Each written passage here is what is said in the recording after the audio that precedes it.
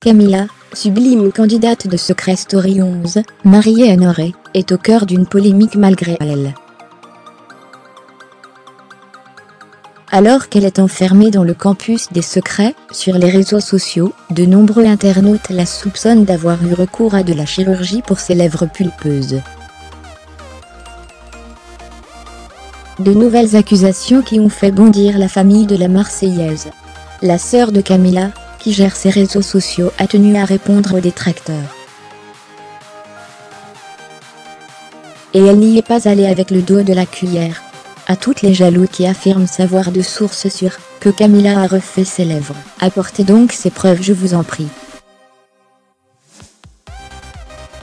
Camilla a toujours eu une bouche pulpeuse depuis sa naissance, vous ne pourrez trouver aucun cliché d'elle, avec des lèvres moins charnues que ça, a-t-elle déclaré sur Instagram. Et de poursuivre, concernant une autre attaque. À celle qui pense que Camilla a un strabisme, je ne sais même pas quoi vous dire, d'où sortez-vous ça? Point d'interrogation, guillemets apparemment, les fans de Secret Story adorent lancer des rumeurs, et chercher la petite bête chez les pauvres candidats. Espérons que la famille de Camilla ne devra pas, dans les semaines à venir, de nouveau se justifier sur de tels sujets.